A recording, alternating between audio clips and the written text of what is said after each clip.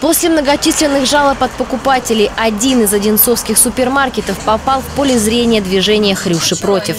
По акции за 10 рублей в магазине продавался испорченный паштет. Один из волонтеров провел контрольную закупку, после чего туда наведались активисты. Они не могли оставить без внимания этот факт нарушения торговли. Вот уже шестой год подряд движение «Хрюши против» существует в России. Их главная цель – найти просроченные продукты в магазине.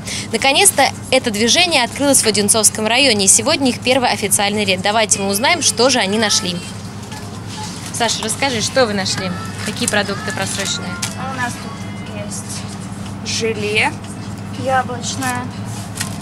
9 апреля произведен, и срок годности у него 45 суток. Через несколько минут тележки с просрочкой начали заполняться. Колбасы, печенье, сухое молоко, фасоль, крабовые палочки и даже кондиционеры для белья. Это и многое другое было снято с витрин магазина. Волонтерам общественного движения также удалось найти испорченное детское питание. Его срок годности истек несколько дней назад, но с прилавка его так и не убрали. Мне удалось найти самой просроченный продукт. Он был произведен в феврале 2015 года. Здесь написано, что он должен храниться 9 месяцев. То есть его не сняли с прилавка, он просрочился. Хрюши против нашли и другие не менее серьезные нарушения. Отсутствие документов на продукцию и санитарных книжек у работников. Также не соблюдались нормы товарного соседства и дистанция между прилавками.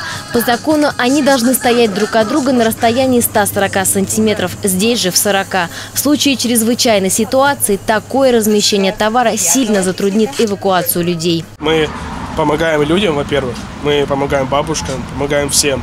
И это как бы для магазина это минус, но зная, что я собрал тележки просрочки, я с гордостью отсюда выхожу и могу любым людям, которые вот женщина заходит с детьми, я могу сказать, что здесь чисто. Спокойно могу сказать, пока я этот магазин проверил. В ходе рейда нашли четыре тележки просроченных продуктов. Администраторы магазина пообещали исправить все нарушения и в присутствии волонтеров утилизировали просроченный товар. Активисты движения призвали покупателей быть внимательнее в магазинах и всегда смотреть срок годности на упаковке. Дарья Сутягина, Станислав Трифонов, телекомпания «Одинцова».